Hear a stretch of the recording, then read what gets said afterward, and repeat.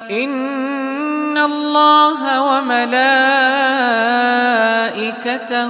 يصلون على النبي يا أيها الذين آمنوا صلوا عليه صلوا عليه وسلموا تسليماً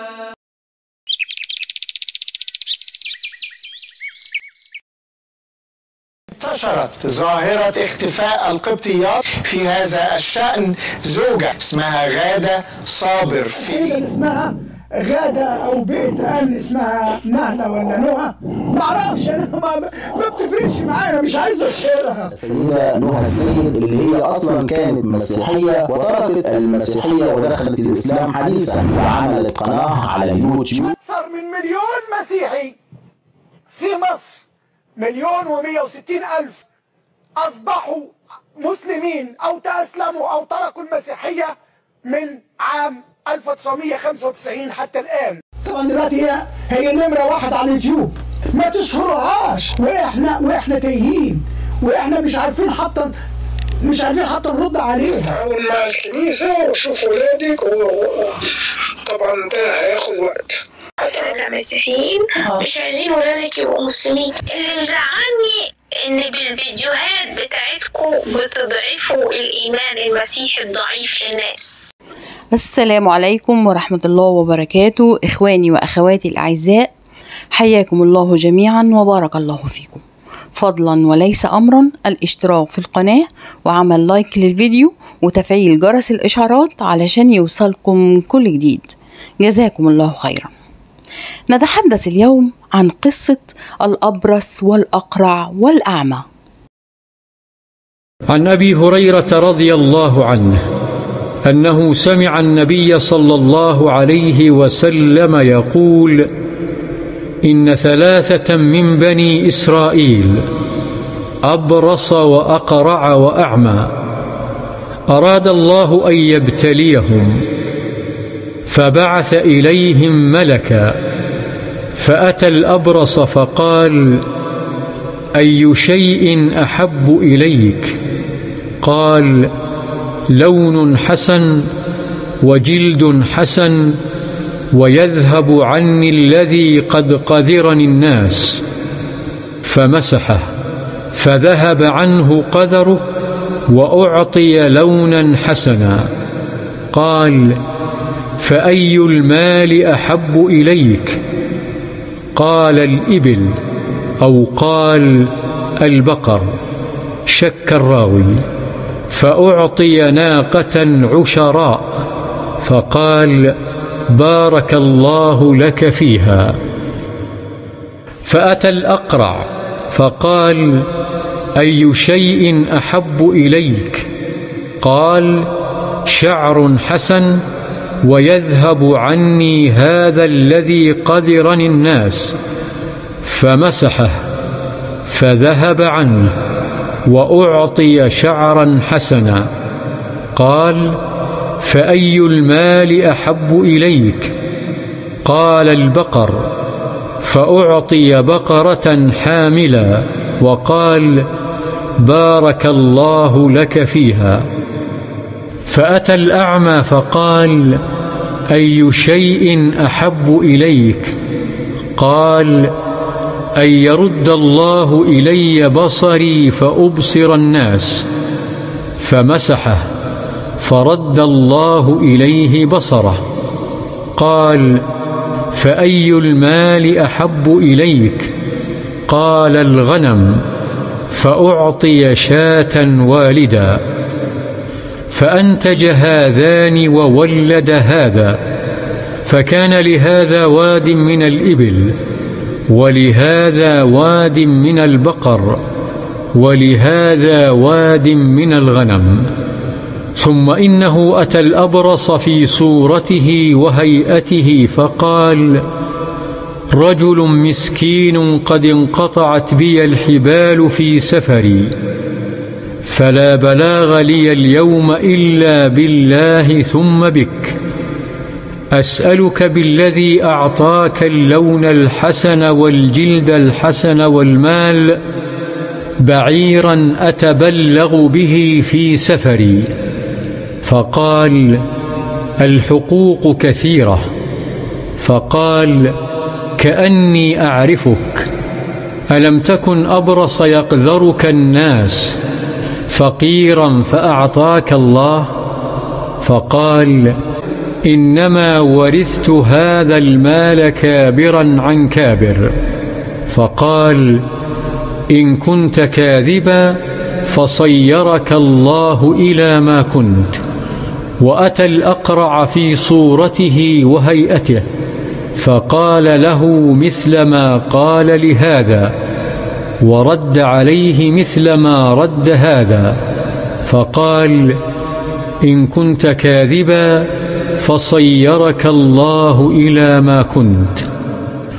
وأتى الأعمى في صورته وهيئته فقال رجل مسكين وابن سبيل انقطعت بي الحبال في سفري.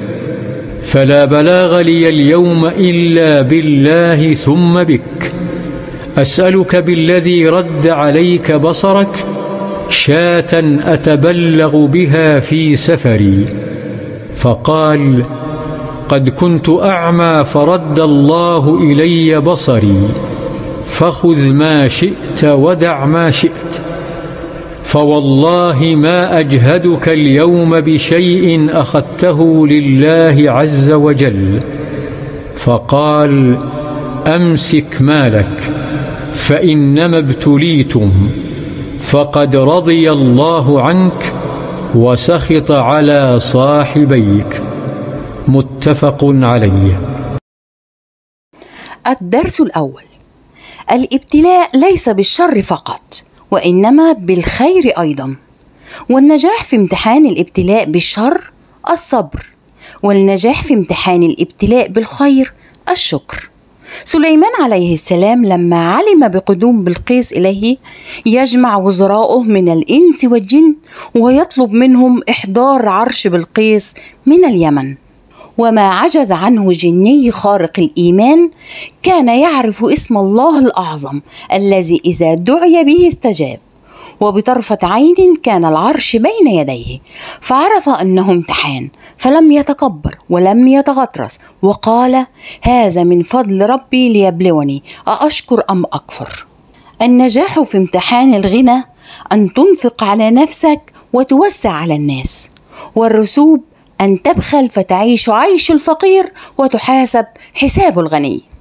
والنجاح في امتحان القوة أن تقيم العدل وتساعد الضعفاء والرسوب فيه أن تعتدي وتظلم وتفتري. فإذا غرتك قوتك على الناس فتذكر قوة الله عليك. الدرس الثاني شكر النعمة باللسان والجوارح ولا يسد أحدهما مكان الآخر. يريد الله أن يسمع الحمد في لسانك ولا أحد أحب إليه المدح من الله. ويريد أن يرى ماذا أنت صانع بنعمته عليك. وإن البخل ليس في المال فقط وإن كان هذا رأس البخل. رأي تحبسه وأنت تعلم أنه ينفع بخل. شهادة تكتمها وأنت تعلم أنها ترجع حقا لصاحبه بخل. خلاف بين زوجة وزوجها وأنت قادر على أن تسويه ولا تفعل؟ بخل. كيس ثقيل لا تحمله عن عجوز؟ بخل. نبيك صلى الله عليه وسلم يسكر عندك ولا تصلي عليه؟ بخل. الكرم جميل في كل شيء في الرأي والأخلاق والمساعدة وأجمل الكرم في المال وإن كان لا يقلل من قيمة ما عداه وانظر لعاقبة البخل في القصة. فهذا الأبرص كان عنده واد من الإبل ولكنه بخل بواحدة على من قال له ليس لي بعد الله غيرك. فأخذ الله كل إبله. وانظر إلى الأقرع كيف كانت عاقبته. بخل ببقرة وكان عنده واد من البقر فأخذ الله كل بقره. أما الذي أعطى وتذكر سيرته الأولى فقيل له بارك الله لك في مالك. موقف واحد يرفعك أبد الدهر وموقف واحد ينزلك أبد الدهر. وما الحياة إلا مواقف فإياك أن ترسب. الدرس الثالث المال ليس دليلا لحب الله للعبد. ومن أجمل ما قيل في هذا أعطى الله الدنيا كلها لسليمان عليه السلام والنمرود. ولو كانت معيارا لتمايز الناس ما ساوى فيها بين نبي وطاغية. كانت ملوك الروم تنام على الحرير وتأكل بملاعق الذهب.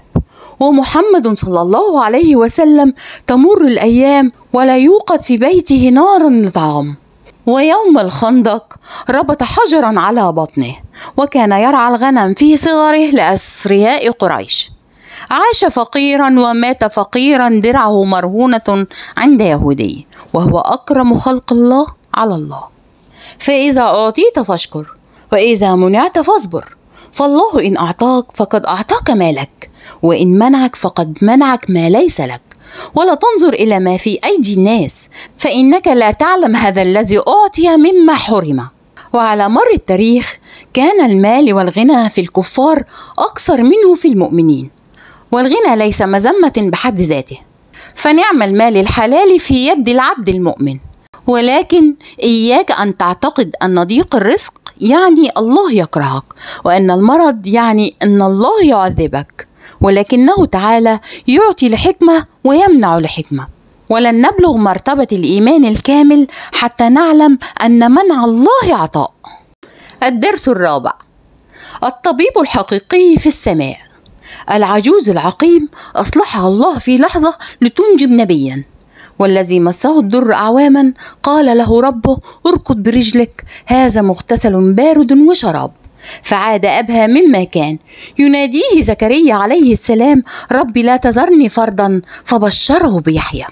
الأبرص الذي يعجز عن شفائه أطباء الدنيا ولو اجتمعوا عنده قال له الله كن صحيحا. فكان. والأقرع أعاد له شعره والأعمى رد عليه بصره. تعالجوا عند أطباء الأرض. فنحن أمة أمرت بالتداوي وطلب العلاج عند الأطباء لا يتنافى مع التوكل على الله لأنه واقع في قدر الله. فإن شاء شفي على يد إنسان وإن لم يشأ لم يغني أطباء الدنيا عنك شيئا. ولكن ونحن نأخذ بالأسباب. تعالوا نتذكر الطبيب الحقيقي. هذا الآمر الناهي في الكون وعلى كل ما فيه. اشرب دواءك لأنه سبب في الشفاء. وقبله قل كما علمنا نبينا صلى الله عليه وسلم اللهم لا شفاء إلا شفاءك شفاء لا يغادر سقما. والسلام عليكم ورحمة الله وبركاته.